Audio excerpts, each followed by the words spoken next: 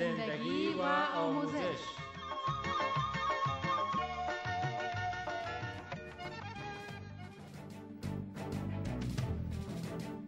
صدای آبادی. سلام شنوندای عزیز برنامه صدای آبادی. آیا غیر قانونی یعنی قاچاق به خارج از کشور سفر کردین؟ برباری زیاد میشه شدید میشه یخ میزنش در موجه بیچاره فوت می‌کنه. او تعداد کسایی که بدون ویزا به شکل قاچاق به خارج از کشور سفر می‌کنن دچار چه مشکلات میشن؟ چرا تعداد سفرهای غیرقانونی را در پیش می‌گیرن؟ چگونه می‌تونیم از سفرهای غیرقانونی جلوگیری کنیم؟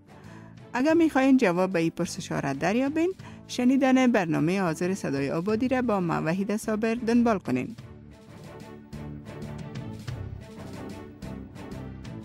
در سراسر جهان اتباع همه کشورها حق سفر کردن به کشورهای دیگر را دارند. اما به شکل قانونی این سفرها می‌تونن کاری، تجارتی و یا سیاحتی باشند. به این ترتیب اشخاصی که می‌تونن با آسانی به هدف خود برسند بدون اینکه از جانب مسئولین امنیتی همان کشور خطر اونا را تهدید کنه اما بعضی ها هستند که از قوانین سرپیچی می‌کنن و از یک کشور به کشور دیگر به شکل غیر قانونی سفر می‌کنن ای که در جریان سفر دچار چه مشکلات شده می‌تونن از چند تن مشنویم سمیولا از ولایت کابل ولسوالی قره یکی ما شهید شد. حالا دو تار رایی کردیم تو باش که چی میشه؟ این یک بچه ماست یک بیادرزاده ماست بچه تقریبا 10 سال است 10 سال است. می تو بیادرزاده هم تقریبا 18 سال است. قریب بخشم زنگ زد که فعلا در خاک پاکستان هستیم. طرف ایران روان هستیم. تا بالا اولش نداریم. این دو روز میشه که اول نداریم. تشویش جاف است خودی که چه کنیم؟ هر چیز که بگویید در ذهن میگرد. مثلا زخمی توپ داره.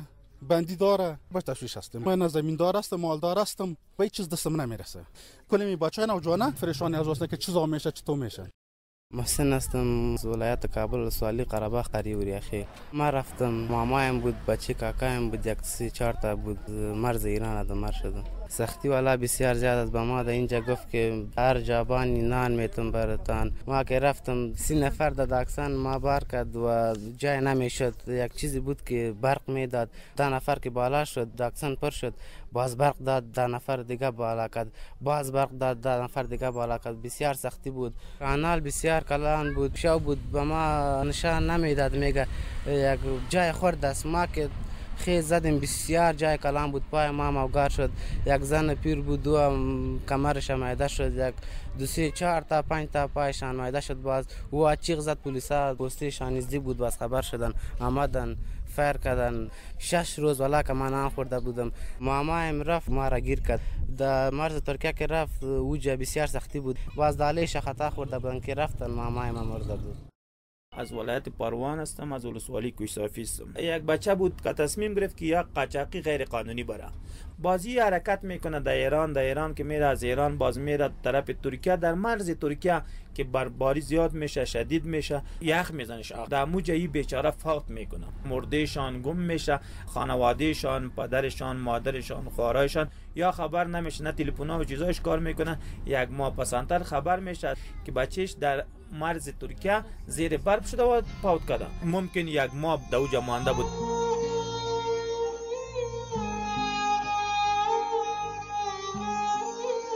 تعدادی که به شکل غیرقانونی به بعض کشورها سفر کرده بودند در جریان راه دچار مشکلات شده بودند. از راه های تنگ و تاریک کوههای بلند پر از برف دور از چشم مسئولین امنیتی در جنگل هایی که مملو از حشرات، گزنده ها، حیوانات وحشی بوده به ساعت ها پیاده رفتن. حال سوال اینجاست که چرا تعداد مردم غیرقانونی یعنی قاچاق به بیرون از کشور سفر می‌کنن؟ پیسه پاسپورت ویزا نبود. مجبور شدیم قاچاق بریم پیسه در اینجا نبود. من هستم از ولسوالی شکردره بعض جوان هاست که بچه کاکا یا بچه ماما یا بچه خاله از رقابت که دیگه می‌خواین برن میگن یکیش در جرمنی رسید باید ما برم. از اون خاطر دیگه قاچاقی میره. نام ما تولاستن دوستای ما رفتن. خاطر بیکاری رفتن قاچاقی رفتن پیسه نداشتن. تیکت کنیم برش. سر تیکت کم پیسه نمی‌خوره. پاسپورت هم که می‌گیری کم پیسه خود نمی‌خوره این قاچاقی رفتن خاطر مزدوری رفتن. نام محمد سلیمان. ما مجبور هستم که از امی کشور خود ما برم. به این خاطر که اینجا هر کمپانی یا شرکت برم بر ما میگه کار نیست. ما مجبور هستم به یک لقمانان ما برم به خارجی کشور به قاچاق برم. ما خب پاسپورت گرفتیم. و که کسی ویزا بر ما رای کنه به همین خاطر ما قاچاق میریم. اگه میمورم اگه زنده میمانم بخت تالی خود ماست علت قاچاقبری نمی هستن. که قاچاقبر گپ بزنی اتش برتان او می‌سازم. تو را میگه که بیا حرکت کو دیگه در هیچ گپی نیست. اگر از اینجا رفتی در ایران در ایران برتان اون و تاقاس نان است او است چیزا هستن. اینا می کل گیرن برتان جور کردیم. باز میگه تو را هیچ پیاده حرکت نمی‌کنی. از یک مرز تا دیگه مرز یا دو دقیقه یا 15 دقیقه اوج تاکسی برتان استاد است در تاکسی انتقال میشی. یک چیزی برتان جور می‌کنه که تو جوان مجبور میشه که نمی امکانات در این راه این خب مشکل نیست بیا که حرکت کنیم یک چیزی می‌کنه که با نقص خود می‌کنه. این فکر می‌کنه که این مپاد ما هستن که چی وقت دران غرق شوه باز می‌فهمه که ما یک کار اشتباه کردیم.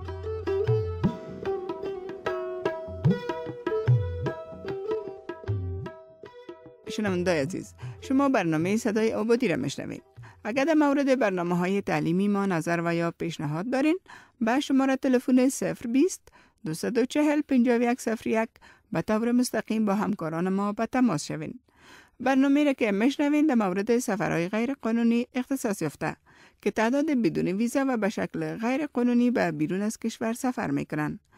تعداد نداشتن اقتصاد و نبود امکانات ویزا را در کشور و بعض مسائل دیگر عنوان نمودند که از اثر آن نتوانسته بودند به شکل قانونی به کشور مورد نظر خود سفر کنند.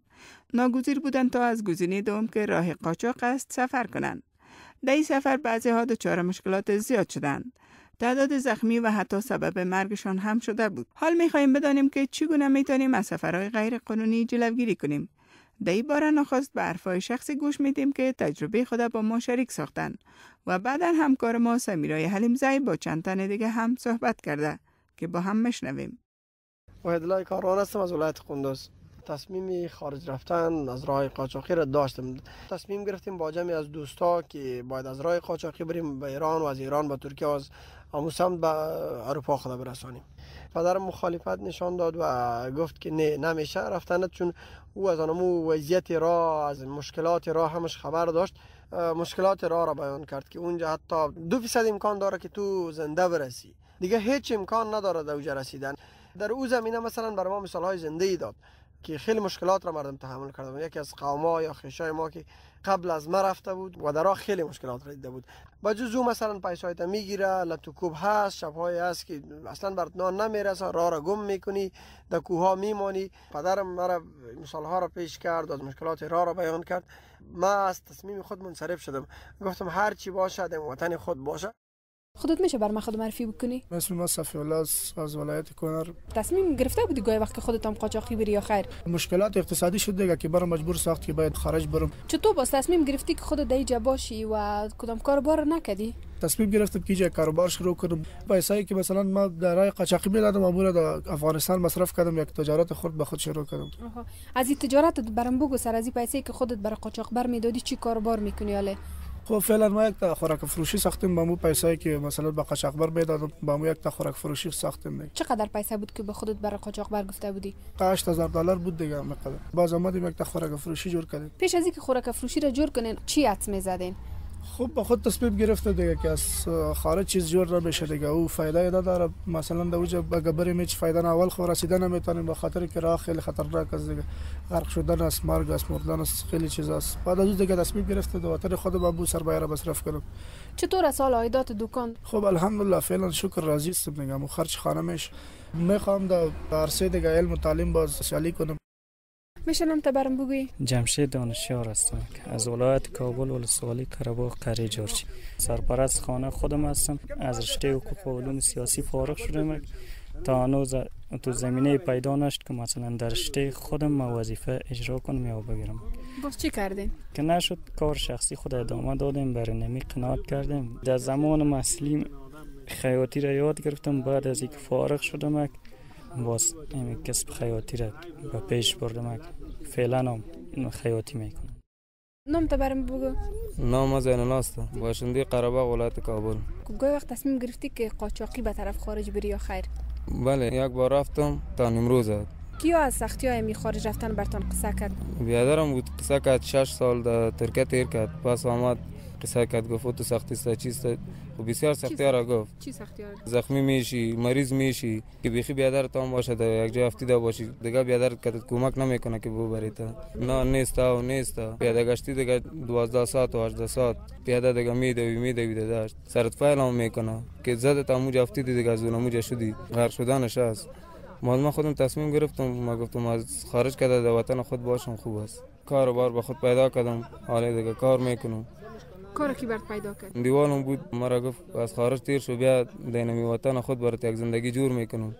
دیگه کار بار برات روان می‌کنم. باز مرا برد کاپیسا باز کاپیسا برنکاری می‌کنیم. حالا شکر فضل خدا 12000 و 13000 میتیم.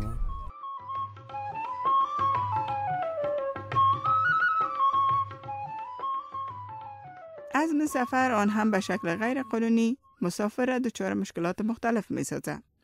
از گرسنگی تا تشنگی کیلومترها پیاده رفتن، لاتوکوب، توهین و تحقیر توسط مسئولین سرحدی کشورها، حتی بعضی وقتها برای مسافرانی که غیر قانونی توسط کشتی سفر کردند، با وشگون شدن کشتی و بعضی اتفاقات دیگر غرق دریا شدند. مردم به دلیل سیالی و همچشمی نداشتن اقتصاد خوب و نبود امکانات اخذ نمودن ویزا علت سفرهای غیر قانونی را عنوان کردند. تعدادی از جوانان به خاطر ای که سفر غیرقانونی را در پیش نگیرند سبب شدن که زمین کاری را برشان در داخل کشور مهیا کنند و اونا را راهنمایی کنند تا از مشکلات سفرهای غیرقانونی که ممکن پیش بیاید در امان باشند بعضی ها اعضای خانواده خود فهمانده بودند که سفرهای غیر قانونی مشکلات زخمی شدن، گرسنگی، تشنگی و حتی مرگ را به همراه دارد و سفر کردن اونا به شکل غیر قانونی جلوگیری کرده بودند. شنونده عزیز. برنامه را که شنیدین همکار ما سمیرای علیم زید معصب تعلیمی افغانستان تهیه کرده بود.